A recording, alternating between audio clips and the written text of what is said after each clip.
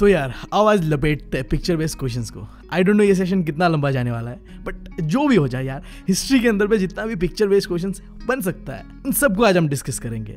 But इससे पहले यार, तुम चार चीज़ों के बारे में जान लो। जब भी बात आता है ना पिक्चर बेस्ड क्वेश्चन का तो चार चीज़ें तुम्हें ध्यान पे रखना है। पहला क्या चीज़ है? टाइटल भाई साहब। पिक्चर का टाइटल क्या बन सकता है? या तो कहीं डिस्क्राइब किया होगा, उसे देख लो, या फिर खुद से इमेजिन करो कि क्या बन सकता है इसका टाइटल एंड दूसरा चीज़ कि वो पिक्चर क्या मैसेज या क्या डिस्क्राइब करना चाह रहा है बताना क्या चाह रहा है वो पिक्चर एंड तीसरा चीज़ जो कि सबसे ज़्यादा इंपॉर्टेंट है कि वो पिक्चर किस टॉपिक से रिलेटेड है। हमेशा रिलेट करके तुम देखोगे। किताब सामने लेके बैठो और तुम एक एक पिक्चर को एनालाइज करो। एंड आखिरी जो चीज़ तुम्हें देखना है वो है पेंटर का नाम क्या है।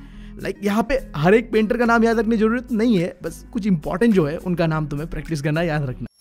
हो गया? ठीक है? अब बढ़ते पहला जो हमारा पिक्चर है वो है ये। अब इस पिक्चर का टाइटल क्या है the dream of a world wide democratic and social republic ये इसका टाइटल एंड पेंटर का नाम क्या है फेडरिक सोरियो अब ये पेंटिंग क्या डिस्क्राइब करना चाह रहा है एक यूटोपियन आइडिया को वो आइडिया क्या था देखो, यहाँ पे तुम्हें पिक्चर पे दिख रहा होगा कि जो कचरों पे क्या है, राजा का जो क्राउन है या कह लो तुम ताज है, वो फेंका हुआ है। ये चीज़ सिंबलाइज कर रहा है क्या? कि अब जो दुनिया है अलग अलग जो कंट्रीज़ है, वो मोनार्की से हट के एक डेमोक्रेटिक एंड रिपब्लिक नेशन बनने जा रहे हैं। सिंपल चीज़ यहाँ पे डिस्क्राइब करा गया है। अब एक क्वेश्चन करते इसी के ऊपर कि देखो पिक्चर देखा हमने अब आइडेंटिफाई करना है कि इस पिक्चर का पेंटर कौन है। लाइक like, पिक्चर का टाइटल भी यहाँ पे मेंशन किया हुआ है a dream of a world wide democratic and social republic तो हमने अभी भी पढ़ा है फेडरिक सोरियो है ठीक है? अब अगला पिक्चर जहाँ पे देखो दो फोर्ट्स यानी कि तुम कह लो जो महल है। अब एक तरफ़ ये जो महल है, ये फ्रांस के अंदर में जो बेस्टाइल फोर्ट था, वो है। अब इस फोर्ट के साथ क्या सीन हुआ था? फ्रांस रेवोल्यूशन के दौरान इस फोर्ट को जो आम पीजेंस ने जला दिया था। अब फिर जो ये दूसरी तरफ़ जो पिक्चर है, ये है जर्मनी का एक फोर्ट अब ये क्या डिस्क्राइब कर रहा है? उसके लिए पढ़ो जो इनबॉक्स दिया हुआ इसके अंदर। सो ये जो पिक्चर है, ये एक जर्मन एल्मेनेक है। अब एल्मेनेक क्या होता है? हमने वो प्रिंट एंड कल्चर वाले चैप्टर में पढ़ा हुआ था। तो तुम मुझे कमेंट सेक्शन में बताओगे, जिससे तुम्हें भी ये चीज़ याद रह जाएगा। और जिन्हें नहीं पता वो कमेंट सेक्शन चेकआउट ज़रूर करना, तुम्हें पता चल जाएगा। स्विस जर्मन एल्मेनेक को डिज़ाइन किया था एक जर्नलिस्ट जिसका नाम था एंड्रेस रैपमैन अब तो मैंने बताया तुम्हें जो पहला फोर्ट था, वो था फ्रांस का बेस्ट स्टाइल फोर्ट जिसे जला दिया गया था फ्रांस रेवोल्यूशन के दौरान। अब हमारे पेंटर के हिसाब से, ये जो जर्मनी के अंदर में फोर्ट है ना, इसे भी जला देना चाहिए। ठीक है, अब यही चीज़ बताया गया है। मतलब सिंबलाइज करा गया है ठीक है? अब देखो इस पिक्चर के साथ जो पेंटर हमें ये बताना चाह रहा है कि हम लोगों को अपना फ्रीडम खुद से चाहिए। देखो लिखा हुआ है people must seize their own freedom समझ रहे हो बात? जिस तरीके से फ्रांस के अंदर में हुआ है उस तरीके से हमें जर्मनी के अंदर भी करना है। ये चीज़ बता रहा है। सो so, इसके ऊपर एक क्वेश्चन भी कर लेते हैं। ये जर्मन एल्मनैक क्या डिस्क्राइब कर रहा है? सो so, लाइक like, देखो ये डिस्क्राइब कर रहा है जो ये बेस्ट स्टाइल फ़ोटो है इसे कैसे हमने बर्बाद कर दिया। ठीक है ये चीज़ डिस्क्राइब कर रहा है। यानी कि ऑप्शन ए सही है। अब अगला पेंटिंग टाइटल है तुम्हारे सामने क्या? ट्री ऑफ़ लिबर्टी यहाँ पे तुम देख रहे हो, फ्रांस के सोल्जर्स यहाँ पे एक ट्री लगा रहा है। और ये ट्री क्या है? ट्री ऑफ़ लिबर्टी है। ये कहाँ लगाया जा रहा है? जर्मनी के अंदर पे, ठीक है? अब इस पेंटिंग को पेंट किया था काल कैस्पर ने। अब ये देखो, एक तरीके से टोंट मारा जा रहा है। कैसे देखो? तो तुम्हें सीन तो पता है कैसा था कि नेपोलियन जब फ्रांस को रूल करने लगता है तो वो क्या कर रहा था? जो भी आसपास का एरिया था, उन सब के जो मोनार्की को हटा के वहाँ लिबर्टी लेके आ रहा था। यानी कि वहाँ के लोगों को आज़ादी दे रहा था। तो ये जो चीज़ है, जो पेड़ लगाया जा रहा है, ये क्या है? ट्री ऑफ़ लिबर्टी यानी कि आज़ादी को रिप्रेजेंट कर रहा है। बट रुको पेंटिंग के इस हिस्से पे देखो क्या करा जा रहा है। फ्रांस सोल्जर जो जर्मनी के आम पीजन्स यानी किसान है ना, उनके साथ अत्याचार कर रहा है, ठीक है? एंड तुम सेंटर पार्ट पे देखो, यहाँ पे फ्रांस के सोल्जर्स क्या कर रहे हैं? जर्मनी की लड़कियों के साथ, यानी कि वुमेन्स के साथ हेरासमेंट कर रहे हैं, यानी कि यानी कि उन्हें तंग कर रहे हैं। एंड देन तुम इस तरफ़ देख सकते हो पीजन्स को, यानी कि जो फार्मर्स है, उन्हें क्या करा जा रहा है? घुटनों पे बैठाया जा रहा है ज़बरदस्ती। यहाँ पे तुम देख सकते हो चार पाँच लोग एक इंसान को लटका के बैठे हुए। अब ये सारी चीज़ें क्या सिंबलाइज कर रहा है? ट्री ऑफ़ लिबर्टी के नाम पे भाई साहब हमारा तो चूतिया काटा जा रहा है। बात समझ रहे हो? देखो ये फ़ोटो क्या डिस्क्राइब कर रहा है इस लाइन से तुम समझ पाओगे। Took freedom and equality from us ले जाओ ले जाओ भाई फ्रांस के लोग तुम हमारा फ्रीडम एंड लिबर्टी को ही ले जाओ। ये बताने का कोशिश कर रहा है ये पेंटर सो so, इसी पिक्चर के ऊपर एक एमसीक्यू देखते हैं अभी। ये जो पिक्चर हमने थोड़े पहले देखा ना ये क्या बता रहा है हमें? ये बता रहा है एक चीज़। कि हम क्रिसमस मना रहे हैं? नहीं। ये बता रहा है कि जो ट्री ऑफ़ लिबर्टी को प्लान किया जा रहा है। बट किस तरीके से प्लान किया जा रहा है? क्या सही में वो लिबर्टी ला रहा है? नहीं ला रहा है। हमने देखा था, ठीक है? लिबर्टी के नाम पे तो यहाँ भाई साहब अत्याचार हो रहा है लोगों के साथ। सो इस पिक्चर से तुम्हें क्या तैयार करना है? पहला चीज़ तो टाइटल क्या है इस पिक्चर का? ट्री ऑफ़ लिबर्टी इसका पेंटर कौन था? वो जान लेना। एंड क्या मैसेज हो रहा है? Took the freedom and equality from us यानी कि हमारा फ्रीडम ले जाओ, हमारा इक्वालिटी तुम ले जाओ। ये मैसेज छोड़ के जा रहा है अब देखो अगला पिक्चर सबसे पहला चीज़ तो ये डिस्क्राइब किसको कर रहा है? ये डिस्क्राइब कर रहा है नेपोलियन को। अब क्या सीन है? मैं बताता हूँ तुम्हें, देखो। जर्मनी के अंदर पे एक जगह है, तुम्हें पता है, बहुत ही इंडस्ट्रियली डेवलप था राइनलैंड याद है तुम्हें? हमने पढ़ा भी था शायद क्लास नाइन पे। अब देखो सीन क्या है यहाँ पे। जब फ्रांस आर्मी राइनलैंड पे अटैक कर रहा था तो एक ऐसा ही बैटल होता है बैटल ऑफ़ लिपीस जो कि फ्रांस आर्मी हारता है। अब हारने के बाद ये दिखा रहा है डिस्क्राइब कर रहा है कि नेपोलियन वो बैटल हारने के बाद अपने घर जा रहा है वापस और हारते हुए जो भी टेरिटरी उसने जीता था ना जर्मनी का, वो सब खो खो के जा रहा है वो, ठीक है? तो ये पोस्टमैन सबसे पहला चीज़ कौन है? नेपोलियन है। एंड ये कौन सा लड़ाई हारता है? बैटल ऑफ़ लिपिस जो कि हुआ था 1813 को, जिसके वजह से उसका जो टेरिटरी उसने जीता था, उन सबको उसे खो के वापस जाना पड़ता है। दैट्स इट अब अब इसके ऊपर एक क्वेश्चन देख लेते हैं। देखो, ये इमेज जिसका टाइटल क्या था? द कोरियर ऑफ़ राइनलैंड ठीक है? अब ये क्या डिस्क्राइब कर रहा है? क्या बताना क्या चाह रहा है? ये बताना चाह रहा है नेपोलियन का हार को। कहा का हार यार? बैटल ऑफ़ लिपिस ठीक है? जर्मनी के अंदर में लड़ा गया था ये। अब अगला पिक्चर है तुम्हारे सामने ये। अब ये क्या है ये पिक्चर वो जानने से पहले जानो कि ये पिक्चर कौन से टॉपिक से रिलेटेड है। ये टॉपिक रिलेटेड है न्यू कंजर्वेटिज्म आफ्टर 1815 तुम्हें पता है कि नेपोलियन बैटल ऑफ़ वाटरलू हार गया था 1815 को। अब उसके बाद क्या हुआ? दोबारा मोनार्की को वापस लाया गया। अब उसके बाद लोगों को बोलने का हक, जो कि थोड़ा बहुत नेपोलियन ने दिया था, वो सब छीन चुका था, ठीक है? अब वही चीज़ यहाँ पे डिस्क्राइब करा जा रहा है। देखो, इस पिक्चर के अंदर पे दो बोर्ड्स दिया हुआ है, जो तुम्हारे राइट साइड पे है, वहाँ बताया है कि बस सोचना है भाई साहब कुछ बोलना नहीं है, ठीक है? एंड देन जो सेकेंड वाला पिक्चर है, वहाँ पे कुछ रूल्स लिखा हुआ है क्लब का, ठीक है? ये जो क्लब बनाया हुआ है एक, क्या है ये क्लब का नाम? देखो, दिया हुआ है। द क्लब ऑफ़ थिंकर्स ठीक है? अब यहाँ पे क्या रूल्स है इस क्लब ऑफ़ थिंकर्स का? सब, सबसे पहला चीज़ तो शांत बैठना है, ठीक है? एंड दूसरा चीज़, मुँह पे एक पट्टा लगा के आना है। तुम देख पा रहे हो, सबके मुँह पे एक पट्टा लगा हुआ है, ठीक है? अब अब आगे बढ़ते हैं। अब तुम्हारे सामने अगला पिक्चर यहाँ पे क्या और देखो, गुसीपी मजीनी का नाम सुना था तुमने। अब इसने ना क्या क्या था? इटली का था तुम्हें पता है, और इसने दो सीक्रेट ग्रुप बनाया था। अब दोनों ग्रुप में से एक ग्रुप था यंग इटली एंड दूसरा था यंग यूरोप अब यहाँ पे ये यंग यूरोप को फाउंड कर रहा है ठीक है? यही दिखाया जा रहा है इस पिक्चर पे। सो so, अगर इस पिक्चर के ऊपर कुछ क्वेश्चन इस तरीके का आ गया कि ये पिक्चर किस तरीके का चीज़ डिस्क्राइब करना चाह रहा है तो तुम बता सकोगे कि यंग यूरोप को फाउंड करा जा रहा है ठीक है? अब देखो ये पिक्चर टाइटल इसका मैसेगर ऑफ़ चियोस सो ये पिक्चर क्या कह रहा है नहीं कह रहा है? उससे पहले ये समझो कि ग्रीक ना 1824 के समय पे एक कॉलोनी था तुम कह सकते हो ऑटोमन एम्पायर के अंदर पे था। तो तुम यहाँ पे देखो एक पगड़ी पहन के इंसान क्या ये मुस्लिम रूलर है? और वो क्या कर रहा है? अत्याचार कर रहा है लोगों के ऊपर। ये लोग कौन है? ग्रीक के आम लोग हैं, मासूम लोग हैं, जिनके ऊपर ऑटोमन्स यानी कि आज का जो मॉडर्न डे टर्की है, वहाँ के लोग अत्याचार कर रहे हैं। तो लाइक इस पिक्चर को तुम कह सकते हो, बनाया इसलिए गया था कि सिंपति दिखा पाए। जो गलत चीज़ हुआ था ना ग्रीक लोगों के साथ मैसेकर जो उनके साथ हुआ था चियोस के अंदर, जिसे हम जानते हैं मैसेकर ऑफ़ चियोस के नाम से, वही चीज़ को यहाँ पे डिस्क्राइब करा गया है। सो लाइक अब सवाल ये उठता है कि ये पिक्चर कौन से टॉपिक से रिलेटेड है? तो ये टॉपिक से रिलेटेड है रोमांटिसिज्म वाले, ठीक है? लाइक देखो, जो ग्रीक जो यूनिफाइड हुआ था ना उस पर रोमांटिसिज्म का एक बहुत ही अच्छा इन्फ्लुएंस था। और उसी में से ये पिक्चर है जो कि डिस्क्राइब कर रहा है कि किस तरीके से ग्रीक लोगों के साथ हुआ था मतलब ऑटोमन एम्पायर के साथ रहते हुए अत्याचार। ठीक है?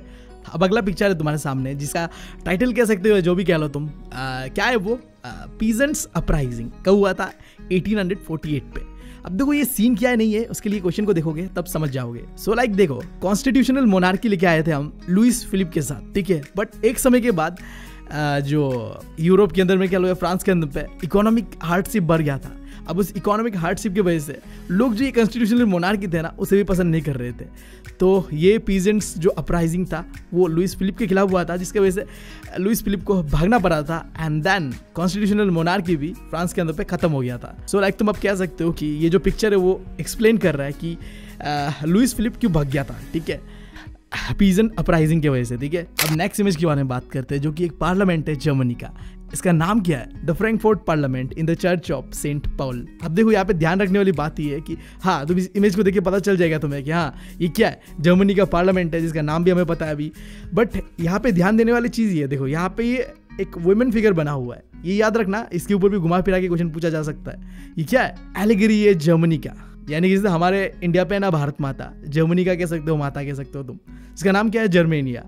अब क्वेश्चन ऐसा आ सकता है, हम पढ़ेंगे आगे कि जर्मेनिया कहाँ दिखाया गया था? तो इसी पार्लियामेंट, जो फ्रैंकफुट पार्लियामेंट था उसके अंदर दिखाया गया था, ठीक है? एक क्वेश्चन देखते हैं इसके ऊपर ही कि ये जो इमेज है, ये क्या सिग्निफाइड कर रहा है? ये क्या बताना चाह रहा है हमें? ये बताना चाह रहा है कि ये एक पार्लियामेंट है। इसका नाम क्या है? The Frankfurt parliament in the church of saint Paul ठीक है? अब तुम्हारे सामने अगला पिक्चर जिसका टाइटल क्या है? The proclamation of the German empire in the hall of mirror set Versailles अब देखो, तुम्हें पता है कि क्या हुआ था? जर्मनी के अंदर पे इकलौता तुम कह सकते हो कंट्री बना यूनिफाइड हुआ। जहाँ पे क्या था? मोनार्की ने भी सपोर्ट किया कि चलो नेशन स्टेट बनाते हैं, ठीक है? अब उस समय एम्पर कौन था? केसर विलियम वन, ठीक है? और बहुत ही इंपॉर्टेंट साथ दिया था उसमें किसने? हमारे ऑटोमन बिस्मार्क ने। ठीक है। अब ये जो पेंटिंग एक आर्टिस्ट ने ऑटोमन बिस्मार्क को उसके बर्थडे पे गिफ्ट दिया था, अब यहाँ पे वही चीज़ दिखा रहा है कि किस तरीके से जर्मन एम्पायर जो है, वो क्या करता है? प्रोक्लेम होता है मतलब खड़ा करा जाता है जर्मन एम्पायर को। तो इसके ऊपर एक क्वेश्चन तुम कह सकते हो कि ये इमेज क्या डिस्क्राइब कर रहा है सिग्निफाइड कर रहा है? तो हमें पता है the proclamation of German empire ठीक है? अब तुम्हारे सामने अगला पिक्चर जहाँ से सीधा सीधा क्वेश्चन तो ये बना जा सकता है कि ये बंदा चाबुक लेके है कौन ये? तो सबसे पहला चीज़ ये है ऑटमन बिस्मार्क जिसने यूनिफिकेशन ऑफ़ जर्मनी पे बहुत एक इंपॉर्टेंट रोल निभाया था। अब ये पार्लियामेंट पे चाबुक लेके बैठा हुआ, ये क्या डिस्क्राइब कर रहा है? अब इसके ऊपर एक क्वेश्चन देख लेते हैं क्लियर हो जाएगा। देखो, ये डिस्क्राइब कर रहा है कि वो बहुत ही एक वायलेंट एंड स्ट्रिक्ट नेचर है ऑटोमन बिस्मार्क का, ठीक है? अपने देश को चलाने के लिए मतलब कुछ भी कर लेगा, ठीक है? वो बहुत ही स्ट्रिक्ट था वो वो चीज़ बता रहा है। अब देखो, ये अगला पिक्चर ये क्या डिस्क्राइब कर रहा है? अब थोड़े पहले हमने देखा था कि यूनिफिकेशन ऑफ़ जर्मनी पे ऑटोमन बिस्मार्क ने बहुत एक इंपॉर्टेंट रोल निभाया था। उसी तरीके से एग्जैक्टली जब इटली का यूनिफिकेशन हुआ था ना तो एक इंसान जिसने बहुत ही इंपॉर्टेंट रोल प्ले किया था, उस इंसान का नाम है गुसिपी गैरीबाल्डी अब ये जो इंसान जूता पहना रहा है ना, वो कौन है? गुसिपी गैरीबाल्डी है। और किसको पहनाया जा रहा है? विक्टर एमन टू को यही चीज़ यहाँ पे सिंबलाइज कर है किस तरीके से जब इटली जो कि पहले सात टुकड़ों में बटा हुआ था, उसे किस तरीके से जोड़ा और जोड़ने पे हमारे जो गुसिपी गैरीबाल्डी का बहुत एक इंपॉर्टेंट रोल था नाउ ये क्वेश्चन ये तो सबसे सिंपल है। ये है कौन ये औरत? स्टम्प पे जो बना हुआ है। तो देखो तुम ऊपर में देखो, तब समझ पाओगे। क्या लिखा हुआ है देखो? R E P U B republic होता होगा। और ये क्या है? फ्रांस हो सकता है, ठीक है? अब इससे एक चीज़ पता चल रहा है कि इमेज कहाँ से रिलेटेड है? फ्रांस से रिलेटेड है। अब ये औरत कौन है पता है? ये एलेग्री है फ्रांस का। यानी कि ये है मेरियाना जैसे जर्मेनिया था जर्मनी का। उसी तरीके से फ्रांस का जो एलेग्री था, वो है मेरियाना तो इसी का इमेज है ये, जो कि यहाँ पे तुम देख भी पा रहे हो। ये स्टम्प क्या है? मैरियाना है जो रिप्रेजेंट कर रहा है रिपब्लिक ऑफ़ फ्रांस को। अब अगला इमेज जो कि किसका? देख के पता चल रहा है, ये इमेज है जर्मेनिया का। अब ये इमेज कहाँ टंगा हुआ था? ये इमेज टंगा हुआ था एक पार्लियामेंट के अंदर पे। नाम क्या था? फ्रैंकफुट पार्लियामेंट जर्मनी का। अब देखो, यहाँ से इस तरीके से क्वेश्चन नहीं आएगा। ये जो जर्मेनिया का अलग अलग हाथ पे चीज़ें पकड़ा हुआ है ना, उनके ऊपर क्वेश्चन आ सकता है। लाइक देखो, ये क्वेश्चन है। जर्मेनिया का जो इमेज है, उनके हाथ पे जो तलवार है ना, उस पर ऑलिव ब्रांचेस लगा हुआ है। अब वो क्या सिंबलाइज कर रहा है? वो क्या स्टैंड कर रहा है? ठीक है? अब ये जानने के लिए तुम्हें ये टेबल को अच्छी तरीके से जानना पड़ेगा। देख सकते हो यहाँ पे तुम। ये जो ब्रोकन चेन है, टूटा हुआ चेन है, ये सिंबलाइज कर रहा है आज़ादी को। फिर ये ब्रेस्ट प्लेट विथ ईगल ये क्या सिंबलाइज कर रहा है? ये सिंबलाइज कर रहा है जर्मन एम्पायर का स्ट्रेंथ को। एंड जो ऑलिव लिप्स है जो हमारे जर्मनिया ने सर पे पहना हुआ है, वो क्या रिप्रेजेंट कर रहा है? हीरोइज्म को। यानी कि वो बहुत ही बहादुर है, ठीक है? एंड ये तलवार क्या को रिप्रेजेंट कर रहा है? ये रिप्रेजेंट कर रहा है रेडीनेस टू फाइट यानी कि लड़ने के लिए तैयार है भाई साहब। आओगे तो कूट देंगे। बट उस तलवार के, देखो साइड पे एक ऑलिव ब्रांच लगा हुआ है। अब ये क्या को रिप्रेजेंट कर रहा है? विलिंगनेस टू मेक पीस यानी कि हम लड़ने के लिए भी तैयार है बट हम शांति भी करने के लिए तैयार है। अब तुम्हारा ऑप्शन है, तुम क्या करना चाहते हो? एंड देन जो ये झंडा है, ये क्या है? ये सबसे पहला तो ये जर्मनी का झंडा है। एंड देन इसके अलावा ये फ्लैग था, जो लिबरल नेशनलिस्ट था, उनका भी, ठीक है? एंड आखिरी चीज़ देखो, ये जो इमेज है, इसके पीछे में जो देखो सनराइज होते हुए दिखाया जा रहा है। ठीक है, सूरज उग रहा है। ये क्या को रिप्रेजेंट कर रहा है? बिगिनिंग ऑफ़ न्यू एरा एक नए युग का शुरुआत को रिप्रेजेंट कर रहा है। अब देखो, ये इमेज है। अब सबसे पहला क्वेश्चन तो यहाँ से ये बन सकता है कि ये औरत कौन है? और ये क्या कर रही है? रो रही है क्या? तो पहला चीज़, ये औरत कौन है? जर्मेनिया है। अब ये क्यों ऐसे बैठी हुई है? देखो, आगे में इस औरत के क्या है? क्राउन है, यानी कि ताज है, ठीक है? तो ये नाखुश है। फॉलिंग जर्मेनिया क्यों? मतलब नाखुश है बोलने से राजा का जो अत्याचार था, उससे हमारा जर्मेनिया नागुज है। ये चीज़ को ये सिंबलाइज कर रहा है, ठीक है? अब देखो ये इमेज देख के पता चल रहा है कि कौन है जर्मेनिया है, ठीक है? बट यहाँ पे क्वेश्चन किस तरीके से आ सकता है, देखो। टाइटल देख के तुम समझ पाओगे। जर्मेनिया गार्डिंग द राइन अब सीन कुछ ऐसा है तो मैंने पहले ही बताया था। जर्मनी में एक जगह है, जिसका नाम था राइन लैंड या राइन के लो। अब वो जगह इंडस्ट्रियली बहुत डेवलप था, जहाँ में मिनरल्स का भरमान था। और उस जगह को हमेशा फ्रांस हो अटैक करने के लिए तैयार रहता था, ठीक है? अब उस चीज़ को दिखाया गया है कि किस तरीके से जर्मेनिया, यानी कि जो है जर्मनी, अपना जो जगह है, उसको प्रोटेक्ट करने के लिए तैयार बैठा हुआ है, यार। आओगे तो पेल दिए जाओगे। समझ रहे हो बात? तो यहाँ पे वही बताया गया है कि जर्मनी अपने राइन लैंड को प्रोटेक्ट करने के लिए तैयार है यहाँ पे। एंड देन देखो, पहले चैप्टर से आखिरी इमेज ये क्या बता रहा है ये इमेज और क्या है ये? ये एक मैप है ब्रिटिश एम्पायर का। तुम देख पाओगे लगभग हर एक जगह को ब्रिटिश एम्पायर ने कब्जा करके रखा हुआ था, ठीक है? अब यहाँ पे जो इंसान ये बैठा हुआ है नहीं क्या है? ब्रिटेनिया है। यानी कि तुम कह सकते हो एलिग्री है ब्रिटेन का। अब नीचे पे देखो एक इंसान है, ये कौन है? एटलस है, जो कि दुनिया को पकड़ के बैठा हुआ है। और इसको कौन रूल कर रहा है? इसको रूल कर रहा है ब्रिटेनिया, ठीक है? अब देखो अलग अलग तरह के जानवर दिख रहे हैं तुम्हें यहाँ पे। हाथी, शेर, फॉरेस्ट एंड प्रिमिटिव पीपल्स। ये क्या को सिंबलाइज कर रहे हैं? उनके कॉलोनीज को। लाइक हाथी सिंबलाइज कर रहा होगा शायद इंडिया को। एंड देन देखो, कुछ प्रिमेटिव लोग है, ये अफ्रीकन होते होंगे।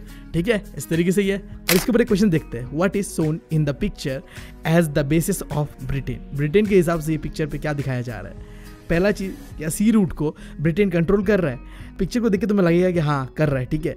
दूसरा चीज़ Britannia sitting on the globe ये भी सही लग रहा है।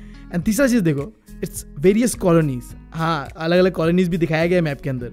एंड आखिरी चीज़ है it's domination of the world हाँ सही बात है ये भी, कि ब्रिटेन डोमिनेट कर रहा है। अब सब तो सही है यार, क्या करें अब? अब देखो यहाँ पे मैप पे देख के एग्जैक्ट और एक्यूरेट आंसर ये पता चल रहा है। इन सारी चीज़ों को तो हम डिपिक कर रहे हैं, हम आइडिया से बता रहे हैं बट ये चीज़ सीधा सीधा दिया हुआ है यहाँ पे। क्या? ब्रिटेनिया जो है ग्लोब के ऊपर बैठा हुआ है तो यही सबसे अप्रोप्रिएट आंसर हो सकता है, ठीक है? हिस्ट्री का पहला चैप्टर तो खत्म कर लिया हमने, अब दूसरे चैप्टर में बढ़ते हैं, जो कि है नेशनलिज्म इन इंडिया अब पहला पिक्चर है तुम्हारे सामने, ये क्या डिस्क्राइब कर रहा है? और यहाँ से क्वेश्चन अगर आए तो किस तरीके का क्वेश्चन बन सकता है? सबसे पहला देखो, ये क्या है एक मास प्रोसेशन पे, जो कि सड़कों पे हो रहा है। अब नेशनलिस्ट मूवमेंट के जो दौरान था मतलब आज़ादी का जो लड़ाई था उस दौरान, ऐसे जो प्रोसेशन है, वो कॉमन फीचर्स था नेशनल मूवमेंट का। ठीक है? ये क्या चीज़ को सिंबलाइज कर रहा है? ये सिंबलाइज कर रहा है कि जो आज़ादी का लड़ाई था ना, उस लड़ाई के दौरान ये कॉमन फीचर्स था। लोग सड़क पे बात बात पे अंग्रेज़ों के खिलाफ उतर आते थे, ठीक है? अब ये पिक्चर को देखो। देख के कुछ पता नहीं चल रहा है ये क्या है, नहीं है। टाइटल को पढ़ते हैं Indian workers in South Africa march through Volksrust 6 November 1913 Africa के अंदर पे इंडिया के वर्कर्स मार्च कर रहे हैं। और जिनको लीड कर रहा है कौन? हमारे गांधी जी। और ये क्यों मार्च कर रहे हैं? क्योंकि वहाँ पे भाई साहब काले गोरे का बहुत भेदभाव होता था। तो जो रेशियल लॉज बने हुए थे ना उनके खिलाफ आंदोलन चल रहा था ठीक है गांधी जी का। अब यहाँ पे वही चीज़ डिस्क्राइब करा गया है। एंड देन अब अगले क्वेश्चन पे आते हैं। ये फ़ोटो हमें क्या डिस्क्राइब कर रहा है? किस इवेंट के बारे में बता रहा है? सो लाइक क्वेश्चन भी देखो यहाँ पे है कि ये इमेज क्या चीज़ को डिस्क्राइब कर रहा है? तो लाइक like, देखो ये इमेज डिस्क्राइब कर रहा है एक चीज़ को जालिया वाला बाग मैसेकर के बारे में। तो सिंपल सा आंसर है इसका, कोई सोचना मत, समझना मत, बस इतना जान लो। ये पिक्चर अगर आगे एग्ज़ाम में तो ये पिक्चर किससे रिलेट कर रहा है? जालिया वाला बाग मैसेगर से, ठीक है? अब आगे बढ़ते हैं। ये पिक्चर क्या चीज़ को सिंबलाइज कर रहा है? क्या दिखा रहा है ये? देखो, यहाँ पे एक चरखा है, ठीक है? लोग चरखे को लेके खड़ा हुआ है मार्च कर रहे हैं, ठीक है? अब देखो ये क्या कर रहे हैं? टाइटल पढ़ते हैं the boycott of foreign cloth ठीक है? फॉरेन क्लॉथ को बॉयकॉट करा जा रहा है। क्योंकि देखो फॉरेन कपड़ा को एक तरीके से उस समय सिंबल की तरह माना गया कि हाँ जो वेस्टर्न पावर्स है ना उनका जो इकोनॉमिक एंड कल्चरल डोमिनेंस है ये उनके फॉरेन गुड्स से ही सिम्बलाइज करेंगे हम। तो अगर उन्हें हराना है उनका जो इकोनॉमिक एंड कल्चरल डोमिनेंस है उसे ख़त्म करना है तो उनके कपड़ा जो होता है उन्हें मत पहनो। उसके जगह पे हम अपने खुद के कपड़े बनाएँगे और जिसके लिए चरखा का इस्तेमाल करा गया। सो so लाइक like, तो यहाँ से क्वेश्चन इस तरीके से आ सकता है। पहला चीज़ तो ये चरखा क्या चीज़ को सिम्बलाइज कर रहा है? हमारे स्ट्रेंथ को। और उनका जो स्ट्रेंथ था वो क्या था? फॉरन क्लॉथ ठीक है? अब उसको ख़त्म करना है तो अपना कपड़ा को प्रमोट करना पड़ेगा, यानी कि अपनी चीज़ों को प्रमोट करना पड़ेगा, इसलिए यहाँ पे चरखे को दिखाया गया। अब उसके बाद ये इमेज क्या चीज़ को रिप्रेजेंट कर रहा है? तो सिंपल सा बात है, लिखा हुआ है टाइटल पे, चोरी चोरा इंसिडेंट जो हुआ था ना, उस चीज़ को यहाँ पे डिस्क्राइब करा जा रहा है। क्वेश्चन देखते हैं कि ये पिक्चर किस इवेंट से एसोसिएटेड है? तो ये इवेंट एसोसिएटेड है, चोरी चोरा इंसिडेंट से। क्या हुआ था? चोरी चोरा इंसिडेंट होने के बाद गांधी जी ने अपना जो नॉन कॉपरेशन का मूवमेंट था, उसे बंद करवा दिया था। क्यों करवा दिया था? क्योंकि चोरी चोरा के अंदर पे जो पुलिस स्टेशन था, उसे आम लोगों ने जला दिया था। अब अंग्रेज़ों का पुलिस स्टेशन तो जला दिया था बट गांधी जी का सख्त कहना था कि वायलेंस नहीं चाहिए अपन को बट वायलेंस हुआ था भाई तो अब होना क्या था? नॉन कॉपरेशन मूवमेंट को बंद करा दिया गया। तो यहाँ पे वही इवेंट हुआ था। एंड देन ये इमेज के बारे में मुझे कुछ डिस्क्राइब करने की ज़रूरत है नहीं। डांडी मार्च करा जा रहा है। गांधी जी है, उनके साथ कई सारे लोग हैं। गांधी जी ने जब शुरुआत किया था साबरमती आश्रम से तो उनके साथ कितने लोग आए थे? Seventy eight volunteers and then फिर हज़ारों लोगों ने इसे ज्वाइन किया। और यहाँ तक कि अमेरिका तक में इसका ब्रॉडकास्टिंग हुआ था, ठीक है? अमेरिकन तक ने देखा था, पूरी दुनिया ने देखा था कि गांधी जी एक शुक्ला, दुबला, पतला इंसान, भाई साहब चले जा रहा है, ठीक है? अब ये इमेज अगर तुम इस इमेज को गौर से देखो तो तुम्हें क्या दिख रहा है? औरतें, ठीक है? तो औरतें क्या कर रहे हैं यहाँ पे? पार्टिसिपेट करने आए हैं। नेशनल मूवमेंट पे अपना योगदान देने आए। ये चीज़ यहाँ पे बताया जा रहा है। किसी की गोदी में बच्चा है, किसी के हाथ पे बच्चा है बट भाई साहब, औरतें भी कम नहीं थे इस लड़ाई पे जो आज़ादी का है उस पर ठीक है? उसके बाद ये इमेज देखो यहाँ पे देख रहे हो, जितने भी नेशनलिस्ट लीडर थे उस समय के बड़े बड़े वो तुम्हें दिख रहे हैं। लाइक देखो उसका टाइटल क्या है? Meeting of the Congress leaders in Allahabad कब हुआ था? 1931 को। अब यहाँ पे तुम्हें कौन कौन सा इंसान दिख रहा है? ये चीज़ पूछा जा सकता है, ठीक है? पहला चीज़ तो गांधी जी दिख रहा है। वो तो दूर से हमें पता चल रहा है। ये देखो, भाई साहब मतलब क्या कहे गांधी जी तो औसम है ना भाई, दूर से दिख जाते हैं। अब उसके अलावा सरदार वल्लभ भाई पटेल दिख रहे हैं यहाँ पे, जो एक्सट्रीम लेफ़्ट पे बैठे हुए एंड एक्सट्रीम राइट पे बैठे हुए हमारे पहले कंट्री के prime minister Jawaharlal Nehru ji. Right से फिफ्थ पर्सन जो है, वो कौन है हमारे? सुभाष चंद्र बोस, ठीक है? अब क्लियर है? अब इसके ऊपर क्वेश्चन क्या आ सकता है कि जो meeting of the Congress leader था ना, ये इवेंट किससे रिलेटेड है? ये इवेंट सिंपल सा मतलब ये है कि ये इवेंट हो क्यों रहा था? अब इतने सारे बड़े बड़े लीडर एक साथ इकट्ठे हैं तो कुछ बड़ा ही होने के लिए मतलब आए होगे ना मीटिंग कर रहे होगे ना। तो देखो, जो पहला ऑप्शन है हमारा कि हाँ ये एक पार्टी फॉर्म करने के लिए बैठे हुए थे, स्वराज पार्टी तो ये ऑप्शन गलत है, क्योंकि स्वराज पार्टी जो था, वो बना था 1923 को। बट तुम देखो यहाँ पे पिक्चर पे दिया हुआ मेंशन किया हुआ ये मीटिंग कब का है? ये मीटिंग है 1931 का। तो स्वराज पार्टी का तो हो ही नहीं सकता क्योंकि वो पहले ही हो चुका था। एंड देन जो दूसरा ऑप्शन है कि आ, ये शायद नॉन कॉपरेशन मूवमेंट से हो सकता है तो नहीं वो भी नहीं हो सकता क्योंकि नॉन कॉपरेशन मूवमेंट हुआ था 1920 को। भाई साहब बारह साल पहले का बात है ये वो भी नहीं हो सकता। हाँ तो कौन सा इवेंट हो सकता है? शायद सिविल डिसोबिडियंस मूवमेंट ही हो सकता है क्योंकि उसका शुरुआत तो 1930 से ही हो गया था तो उसी बीच का कोई मीटिंग चल रहा होगा और उसी बीच का ये इमेज है। और जो बात रहा साइमन कमीशन का वो तो हुआ था 1928 को। तो वो तो हो ही नहीं सकता भाई। सो so, जो बचा हुआ है सिविल डिसोबीडियंस मूवमेंट यही होगा। आगे बढ़ते हैं। यहाँ पे तुम्हारे पास तीन लोग हैं। अब ऐसा आ सकता है कि ये जो तीसरा इंसान है वो कौन है? पहला दो तो तुम पता कर लोगे कि गांधी जी है नेहरू जी है तीसरा कौन है? मौलाना आज़ाद। याद रहेगा याद रख लेना। आगे बढ़ते हैं। ये इमेज ना मैं बता रहा हूँ। इस चैप्टर से सबसे ज़्यादा इंपॉर्टेंट अगर कोई इमेज है आई गेस यही होता होगा। वैसे तो ये इमेज देख के तुम्हें कुछ खास पता नहीं चलेगा। बट अगर तुम ध्यान से इस इमेज के कोने कोने पे देखो ना तो देखो यहाँ पे क्या बना हुआ है? ताजमहल। यहाँ पे क्या बना हुआ है? टेंपल यहाँ पे क्या बना हुआ है? चर्च और देखो यहाँ पे क्या लिखा हुआ है? पहला चीज़ तो ये कौन है? बाल गंगाधर तिलक है। अब क्या सिंबलाइज कर रहा है? यूनिटी को सिंबलाइज कर रहा है, ठीक है ये? क्योंकि यहाँ पे अलग अलग धर्मों को सिंबलाइज करा जा रहा है। लाइक यहाँ पे टेंपल है चर्च है मॉस्क है, समझ रहे हो ना बात? तो ये यूनिटी को सिंबलाइज कर रहा है। ये पिक्चर ठीक है? अब इसके ऊपर एक क्वेश्चन भी देख सकते हो तुम कि ये जो इमेज है, बाल गंगाधर तिलक का, ये क्या चीज़ को रिप्रेजेंट कर रहा है? सबसे पहला चीज़ तो हाँ ये बाल गंगाधर तिलक का इमेज है बट सिंबलाइज क्या चीज़ को कर रहा है? सिग्निफाइड की चीज़ को कर रहा है? तो ये सिग्निफाइड कर रहा है द सिंबल ऑफ़ यूनिटी अब देखो ये इमेज है, देखिए पता चल रहा है, ये है इंडिया का फीमेल एलिग्री नाम लिखा हुआ देखो क्या है? भारत माता। अब इस इमेज को किसने डिज़ाइन किया था? अभिनेन्द्र नाथ टैगोर ने। अब देखो हमें बताया गया थोड़ा कि जो रवि वर्मा था ना, आगे हम पढ़ेंगे इसके बारे में कि रवि वर्मा कौन था, नहीं था प्रिंट एंड कल्चर वाले चैप्टर पे।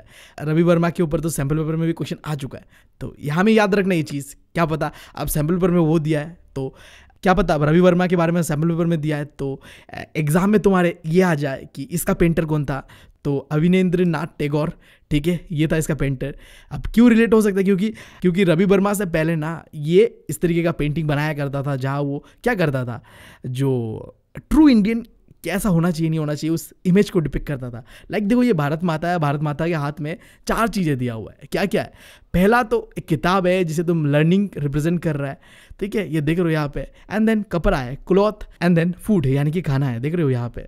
अब आखिरी जो चीज़ है, माला है। अब माला क्या को रिप्रेजेंट कर रहा है? एसेटिक क्वालिटीज़ को। यानी कि तुम कह सकते हो रिलीजियस क्वालिटीज़ को रिप्रेजेंट कर रहा है। हम इंडियन का ट्रू नेचर को जानना है तो तुम चारों चीज़ों से जान सकते हो। क्या हम लोग थोड़ा रिलीजियस भी है, जो कि माला रिप्रेजेंट कर रहा है? एंड हमें क्या चाहिए होता है? खाना नॉलेज एंड कपड़े और ये चारों चीज़ें हमें देता कौन है? हमारा धरती यानी कि हमारी भारत माता। ठीक है? सो so, यहाँ पे क्वेश्चन भी है इसके लिए कि how is Bharat Mata portrayed in the एवो पिक्चर क्या चीज़ के बारे में बता रहा है? क्या ये बता रहा है एसेटिक क्वालिटीज़ के बारे में? हाँ। क्या ये बता रहा है कुछ डिवाइन नेचर के बारे में? क्या ये बता रहा है स्पिरिचुअलिटी के बारे में? या फिर सारे के सारे? सो so, इसका जो आंसर होगा वो सारे के सारे होगा ठीक है? क्योंकि एसेटिक क्वालिटी के बारे में बता रहा है माला जो and then divine nature and spirituality के बारे में भी थोड़ा बहुत पता चलता है यहाँ पे। सो लाइक यही रहेगा ऑल ऑफ़ द एबव ठीक है, अब उसके बाद ये इमेज है, कौन है पता है तुम्हें ये? हमारे जवाहरलाल नेहरू जी है, ठीक है? अब ये क्या करके बैठे हुए हैं? एक किताब लेके बैठे हुए हैं, जहाँ में क्या है इंडिया का मैप है, भारत माता है, और वो अपने दिल पे रखे हुए हैं। अब ये चीज़ क्या सिंबलाइज कर रहा है पता है? कि भाई साहब, देश जो है ना, देश से बड़ा और कुछ नहीं है, दिल पे रखते हैं हम देश को।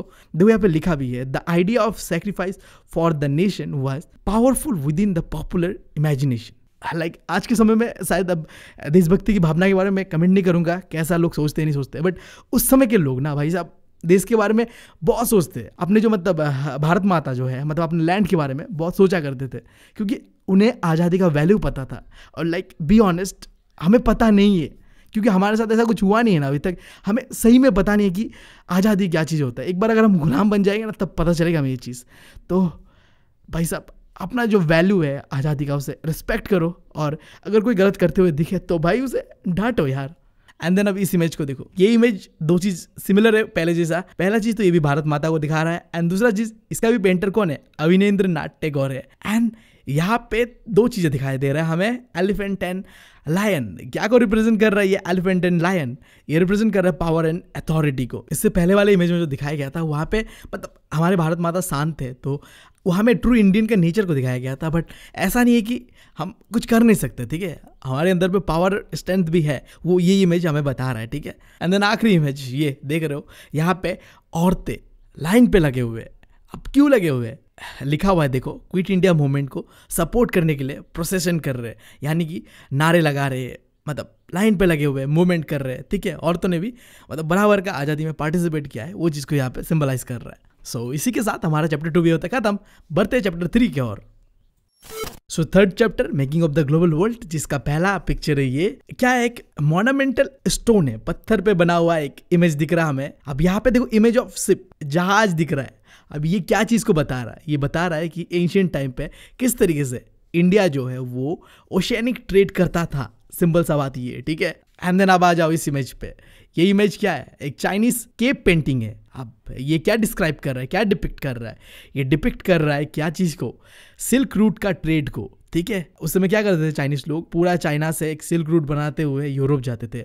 लाइक यहाँ में भी वो चीज़ दिखाया जा रहा है कि किस तरीके से घोड़ा में बैठे हुए लोग ट्रैवल कर रहे हैं, ठीक है? एंड देन देखो अब ये इमेज ये कहाँ से है? सबसे पहला चीज़ तो ये मार्को पोलो का एक किताब है बुक ऑफ़ मार्बल्स अब ये इमेज बता क्या रहा है? जो मर्चेंट थे ना वेनिस के, यानी कि तुम कह लो इटली के मर्चेंट लोग ओरिएंट एक्सचेंज ऑफ़ गुड कर रहे हैं। ओरिएंट मतलब देखो क्या है? तुम कह लो इंडिया और या फिर चाइना वहाँ के लोगों के साथ ट्रेड करा जा रहा है, ठीक है? यूरोपियन किस तरीके से जो चाइना इंडिया ऐसे कंट्रीज़ के साथ ट्रेड व्यापार कर रहे हैं, वो चीज़ को यहाँ पे दिखाया जा रहा है। देखो यहाँ पे एक शिप है शिप से लोग आ रहे हैं, सामान दे रहे हैं, और उसके बदले में वो लोग भी कुछ दे रहे हैं उन्हें, ठीक है? ये सब चीज़ यहाँ पे दिखाया जा रहा है। एंड देन देखो ये पिक्चर ये बहुत इंपॉर्टेंट है। देखो अमेरिका को डिस्कवर करने के बाद हमें पता चला कि पोटैटो एक बवाल का चीज़ होता है भाई साहब। सस्ता है, जिससे गरीबों का भूख मिट सकता है। अब उस समय यूरोप डेवलप तो था नहीं। टेक्नोलॉजीज़ तो उनके पास था नहीं। तो गरीबों को खाने के लिए मतलब चीज़ होता नहीं था, क्योंकि वहाँ का क्लाइमेट भी तुम्हें पता है, बहुत ही हार्स होता है। हमेशा ही विंटर रहता है, सर्दी रहता है। बट पोटैटो जो था, वो सही था उनके लिए। तो धमाधम खाते थे गरीब लोग वहाँ के। बट क्या होता है देखो आइरिस पोटेटो फेमाइन आता है कब? 1849 को, जिसके वजह से लोग भूखे भूखे मर रहे थे। अब उसी का एक पिक्चर जहाँ जहाँ दिखाया गया जा रहा था एक भूखा बच्चा है और उसकी माँ है खोंद रही है, आलू निकाल रही है, ठीक है?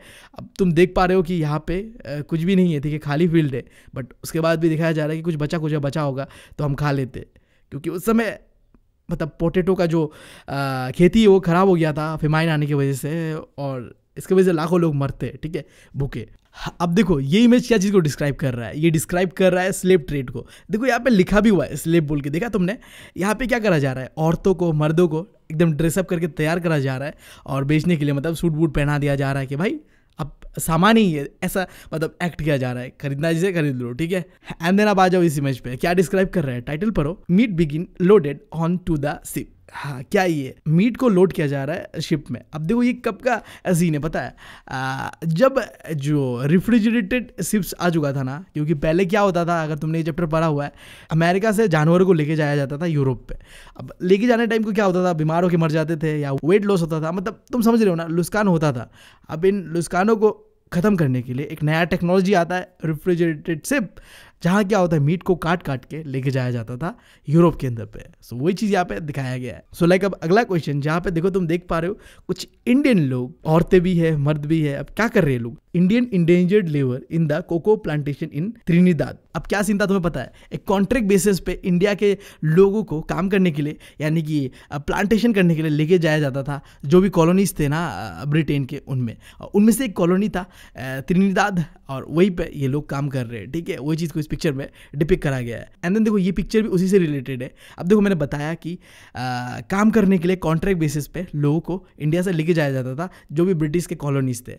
अब कैसे उनका आइडेंटिफिकेशन होता था? उनके नाम से नहीं, उनके नंबर से। देखो यहाँ में लिखा हुआ है indentured labour photograph for identification देखो the numbers not the name matters नाम मैटर नहीं करता भाई नंबर जो लिखा हुआ है, उसके हिसाब से लेबर नंबर कितना है, वो पता करेंगे, ठीक है? जो कि दिखा रहा है कि हमारा वैल्यू कैसा था अंग्रेज़ों के सामने। एंड देन देखो, जो कॉन्ट्रैक्ट साइन करा जाता था, जिसके हिसाब से हम जाते थे, उनके लिए काम करते थे, वो कॉन्ट्रैक्ट का पिक्चर है ये, ठीक है? एंड अब आ जाओ, ये क्या है? ये है तुम्हारा ईस्ट इंडिया कंपनी का मेन जो सेंटर जहाँ पे वो लोग पूरा अपना बिज़नेस को संभालते थे। क्योंकि तुम्हें पता है कि ईस्ट इंडिया कंपनी क्या था? एक कंपनी था जो बिज़नेस करता था, दुनिया के अलग अलग कोने पे जाके। अब उनका जो मेन बिज़नेस सेंटर जो चलता था ना, वो कहाँ से चलता था? ये इंग्लैंड के अंदर पे जो ये बिल्डिंग है, इधर से चलता था। इसे कहा गया, देखो hub centre of the worldwide operation of the East India Company ठीक है? दुनिया में जो भी करना है, नहीं करना है डिसीज़न लेना है, सब यही से होके आता था, ठीक है? एंड देन अब ये पिक्चर देखो टाइटल पढ़ के समझ में आ रहा है। दूर से लिया हुआ एक फ़ोटो है व्यू दिखा रहा है, सूरत, गुजरात के अंदर पे सूरत और उसके रिवर्स का। अब क्या इससे क्या डिपिक्ट हो रहा है? ओशैनिक ट्रेड होता था उस समय सूरत से। वो चीज़ को यहाँ पे दिखाया जा रहा है कि उस समय में सूरत एक मेन सेंटर था ओशैनिक ट्रेड का। एंड देन अब ये क्या है? हमने पढ़ा था इसके बारे में, अमेरिका के अंदर पे मास स्केल प्रोडक्शन होता है और जो पहला ऑटोमोबाइल, यानी कि तुम कह लो कार बन के आता है, जिसका मॉडल नंबर था कुछ इस तरीके से टी मॉडल ऑटोमोबाइल।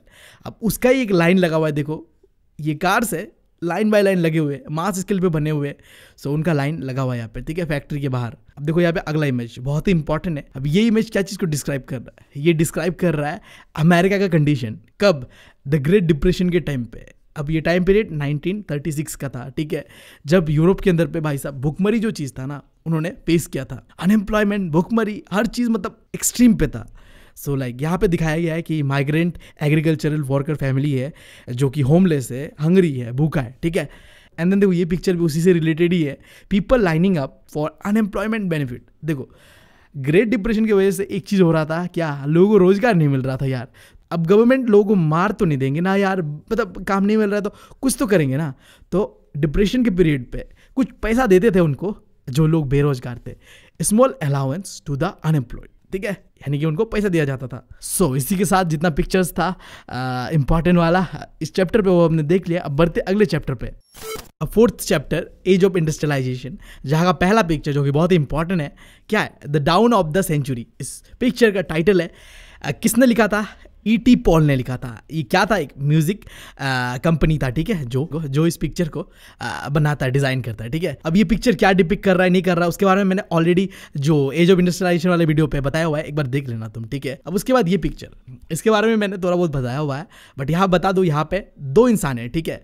एक तरफ़ अलादीन है जो अपने चिराग को घिसके भाई साहब कुछ भी बना लेगा और दूसरी तरफ़ एक मैकेनिक है। अब वो अलग अलग टेक्नोलॉजी की मदद से क्या कर रहा है? अलग अलग चीज़ों को कुछ भी जो उसे पसंद है वो बना ले रहा है। चाहे वो कोई बिल्डिंग हो ब्रिज हो सिप हो कुछ भी बना ले रहा है। सो so, लाइक like इसके ऊपर एक क्वेश्चन भी है। दो मैजिशियन का कैरेक्टरिस्टिक्स है यहाँ पे।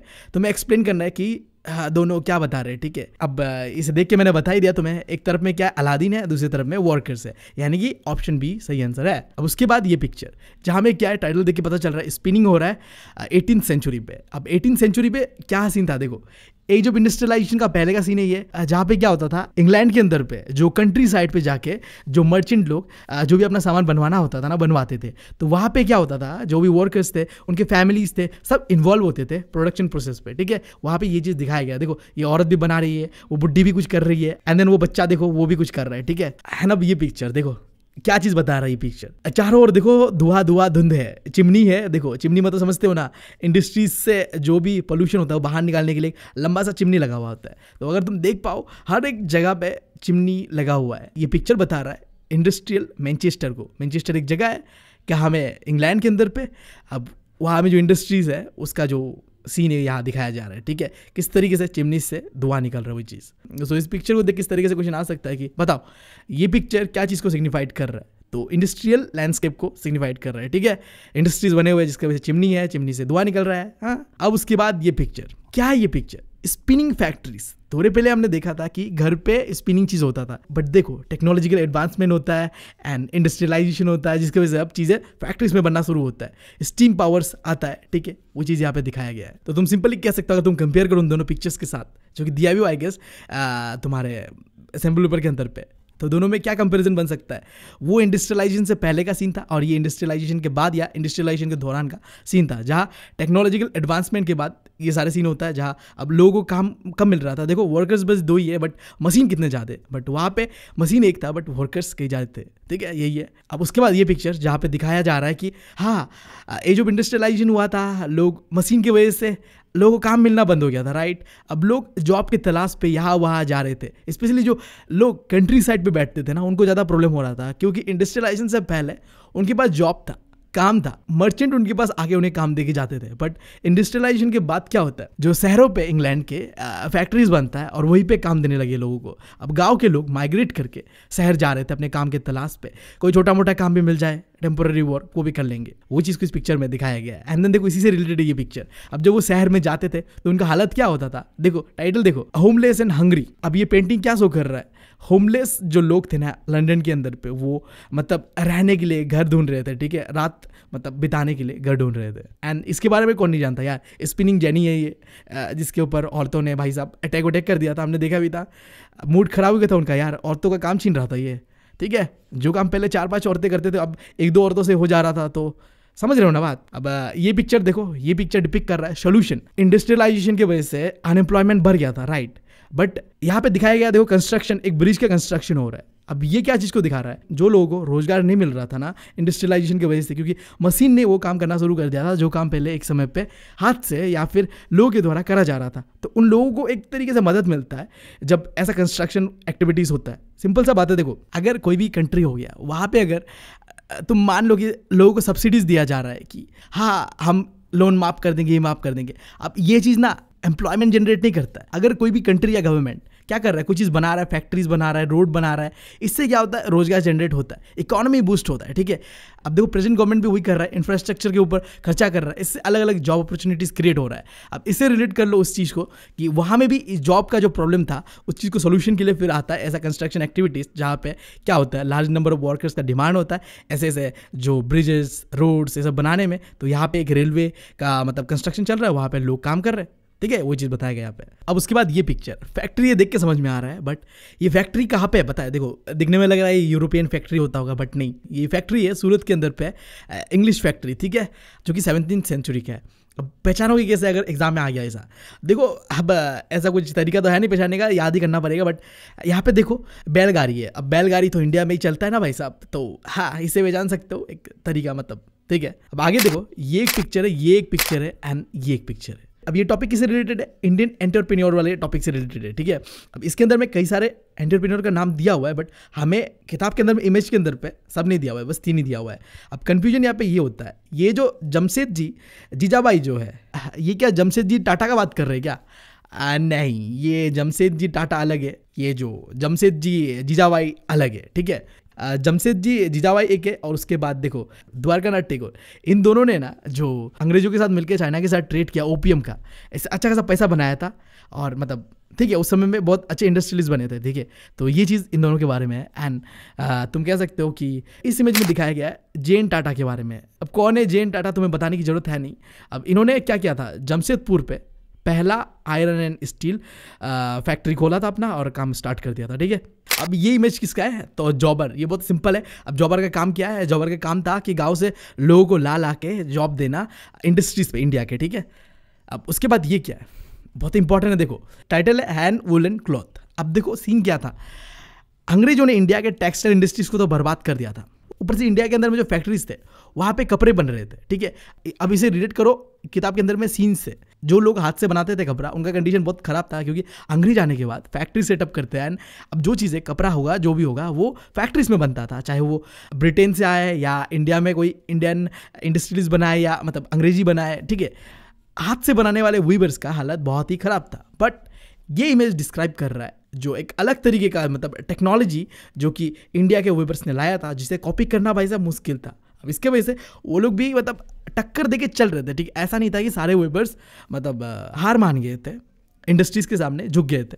कुछ था जिनका टेक्नोलॉजी मतलब बनाने का तरीका ऐसा था कि यूनिक था, लोग पसंद कर रहे थे तो उनसे खरीद रहे थे, ठीक है? तो यहाँ पे वो पिक्चर मतलब कह लो कपड़ा, जो भी कह लो तुम, वो है ये। अब उसके बाद ये क्या? देखो यहाँ पे लॉर्ड कृष्णा है, सबसे पहला चीज़ पता चल रहा है बट यहाँ पे देखो क्या है, एक बेबी है एंड यहाँ पे एक बॉटल है। तो इससे क्या पता चल रहा है कि ये एक बेबी प्रोडक्ट है जिसे भगवान के नाम पे पॉपुलराइज किया जा रहा है, ठीक है? मार्केटिंग किया जा रहा है। ये हमने मार्केटिंग वाले चैप्टर पे पढ़ा था, ठीक है? कैसे अंग्रेज़ मतलब हमें हुतिया बना रहे थे, ठीक है? भगवान के नाम पे। अब इन दोनों इमेज को देखो। एक तरफ़ पे एक इमेज है जहाँ पे भगवानों का फ़ोटो है लाइक कार्तिकेय एंड लक्ष्मी, सरस्वती, इन लोगों का फ़ोटो है, ठीक है? और दूसरी तरफ़ फ़ोटो है एक राजा का, जिसका नाम था महाराजा रंजीत सिंह, ठीक है? अब क्या हो रहा था? जो अंग्रेज़ अपना कपड़ा बना रहे थे ना, जो वहाँ से वो लेके आ रहे थे इंडिया पे, उन कपड़ों का मतलब लेवलिंग कर रहे थे इस तरीके से कि देखो, अब ऐसा कपड़ा जिसके ऊपर लगा हुआ है महाराजा रंजीत सिंह तो उसे देख के वो खरीद लेंगे एंड देन कुछ लोग होंगे जिसे भगवान पसंद है तो भगवान का नाम देख के वो कपड़ा को खरीद लेंगे। अब देखो, आजकल भी ऐसा मार्केटिंग होता है लाइक मैं खुद करता हूँ ऐसा, मुझे नारेटो वाला जो टी शर्ट होता है एनिमी वाला जो टी शर्ट होता है वो कलेक्ट करने का मुझे शौक है। तो मैं, अगर कोई टी शर्ट होता है, जहाँ पे एनिमी दिखता है, मुझे अच्छा क्वालिटी का होता है तो मैं खरीद लेता हूँ मतलब ऑन माई बजट ऐसा नहीं कि कोई भी खरीद लेता हूँ। ठीक है बट जो भी है बट तुम समझ रहे हो, मैंने टॉपिक रिलेट करा दिया कि उस समय वो लोग क्या करते थे? यही सब भगवान, राजाओं का सीन लेके मार्केटिंग करते थे उनका कपड़ा को। अब उसी का एक, देखो यहाँ पे एग्ज़ाम्पल है, जहाँ क्या है लॉर्ड विष्णु है एंड बैठे हुए और नीचे में देखो क्या ये शॉप है। यानी कि साबुन है। तो यहाँ पे साबुन का एडवर्टाइजमेंट करा जा रहा है भगवान को रिलेट करते हुए कि देखो, भगवान का साबुन है, यार इस्तेमाल कर लो। अपने आप को धो लो, पवित्र हो जाओगे। मतलब समझ रहे हो ना इस तरीके से कुछ। अब इसके बाद देखो, ये पिक्चर अभी तक जो हमने देखा वो अंग्रेज़ों का टेक्निक था कि हमारा सामान इस्तेमाल कर लो, क्योंकि ये तो भगवान का है महाराजा इस्तेमाल करते थे अलग अलग बट यहाँ में मेड इन इंडिया को प्रमोट करा गया। यहाँ पे देखो टाइटल क्या है? इंडियन मिल्क क्लोथ का लेबल लगा हुआ है। ये क्या डिपिक कर रहा है? एक भगवान है जो ऑफ़र कर रहा है कपड़ा को इंडियन लोगों को। देखो देश के कपड़ा खरीदो, देश से जो बना हुआ कपड़ा है, उन्हें खरीदा करो, बाहर से मत खरीदा करो। लाइक यहाँ पे भारत माता को सिंबलाइज कर रहा है मेड इन इंडिया से, ठीक है? कि अंग्रेज़ों का कपड़ा मत खरीदो, हमारा कपड़ा खरीदो, ठीक है? सो लाइक इसी के साथ ये चैप्टर भी होता है खत्म। बढ़ते अगले चैप्टर की ओर, जो कि प्रिंट एंड कल्चर वाला चैप्टर काफ़ी लंबा हो चुका वीडियो आई नो मेरा बोलते बोलते गला दर्द दे रहा है यार। इतना लंबा वीडियो मैंने नहीं बनाया आज तक कभी भी।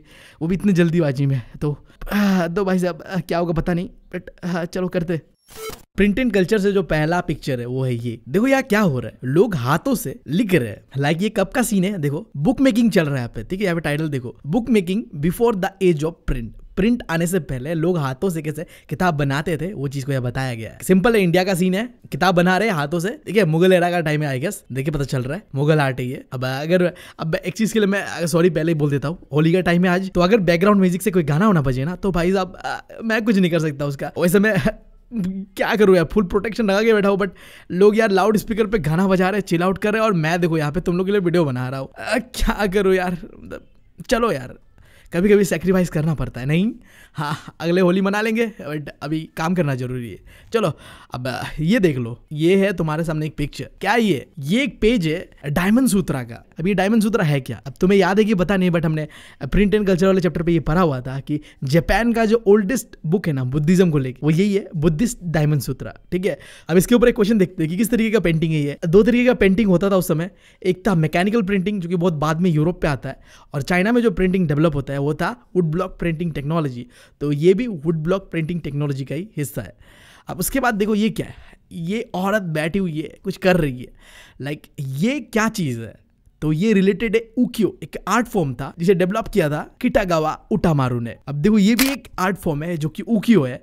अब ये क्या चीज़ को डिस्क्राइब कर रहा है? इसके ऊपर क्वेश्चन आ सकता है। इसका आर्टिस्ट का नाम याद करने की ज़रूरत नहीं है बट हाँ ये क्या चीज़ को डिस्क्राइब कर रहा है?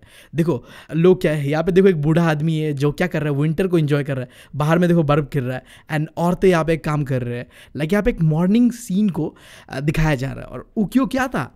एक फ्लोटिंग वर्ल्ड का एग्ज़ाम्पल था ना, जहाँ पे अलग अलग चीज़ें लोग कर रहे होते हैं, वो दिखाया जा रहा होता है, ठीक है? क्वेश्चन देखते हैं इसके ऊपर भी क्या हाँ ये जो आर्ट फॉर्म उकियो है इसे, तुम क्या है? मतलब किससे रिलेट कर पा रहे हो? मॉर्निंग सीन से, ठीक है? अब उसके बाद ये क्या है? देखो प्रोनाउंस शायद मैं गलत करूँ जेगजी लग रहा है मुझे जो भी है, ठीक है? अब ये किससे रिलेटेड है? दो चीज़ याद रखो। पहला चीज़, ये किताब रिलेटेड है, कोरिया से। कोरिया का ओल्डेस्ट किताबों में से एक है ये। अब ये किताब किससे रिलेटेड है? हाँ देखो रिलीजियस किताब है। बुद्धिज़्म का एक फॉर्म होता है।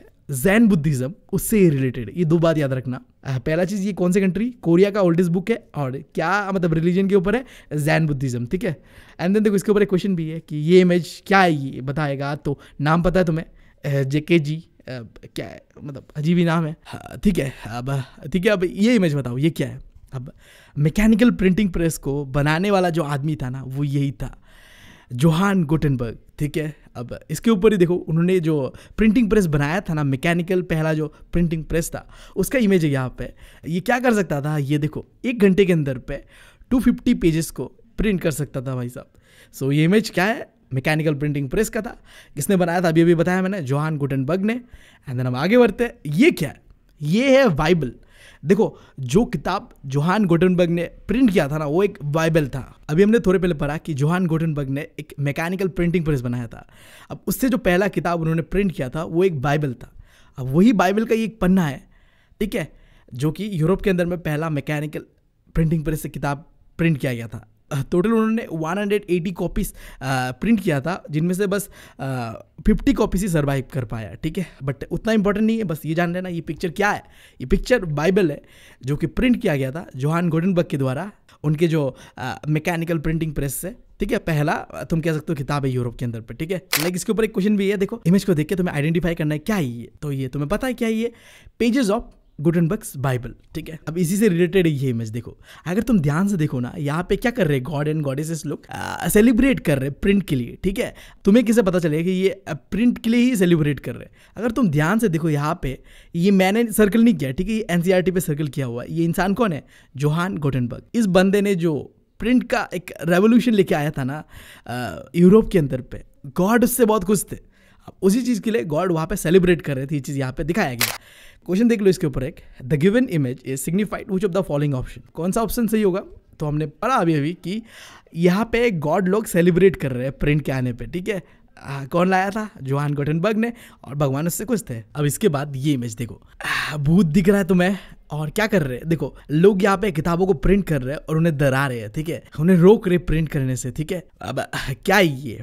टाइटल तो दिया हुआ है द मैकबेरी डांस अब ये इमेज क्या चीज़ को शो कर रहा है? ये इमेज शो कर रहा है एक डर, जो ये प्रिंटिंग आया था ना, इसके खिलाफ एक डर को शो कर रहा है। देखो, ये भूत कोई भी हो सकता है जो कंट्रोल कर रहे हैं, क्या लिखना है, तुम्हें क्या नहीं लिखना है। अब ये चीज़ गलत है भाई साहब समझ रहे हो ना? कोई अथॉरिटी हो सकता है अपने मर्ज़ी से कुछ भी लिखाया जा रहा है अब वो लोग पढ़ेंगे तो वही समझेंगे या फिर कोई आम इंसान है जो कुछ समझा उसने और कुछ लिख दिया अब वो रिलीजन के खिलाफ गलत भी बोल सकता है उसका अपना ओपिनियन हो सकता है लाइक like, तुम समझो यार मतलब प्रिंट फ्रीली मूव कर रहा था ठीक है बट हर लोग वहाँ पे प्रिंट को सपोर्ट नहीं कर रहे थे कुछ लोग ये जो प्रिंट आया था जिसके वजह से अब लोग पढ़ के नॉलेज लेने लगे थे इससे डर रहे थे कुछ लोग सो हाँ, वही चीज़ यहाँ पे सिंबलाइज करा जा रहा है फेयर फॉर प्रिंटिंग ठीक है? क्वेश्चन देख लेते इसी के ऊपर एक। सूटेबल टाइटल क्या होना चाहिए इस इमेज का? तो द मेक बेरे डांस ठीक है?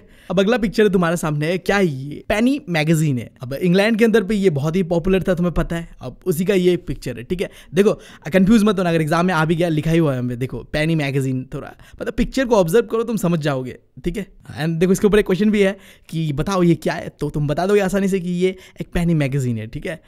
अब देखो, अगला पिक्चर यहाँ पे क्या हो रहा है, देखो, ऊपर में लोग इंजॉय कर रहे हैं। अब ये लोग कौन है, पता है?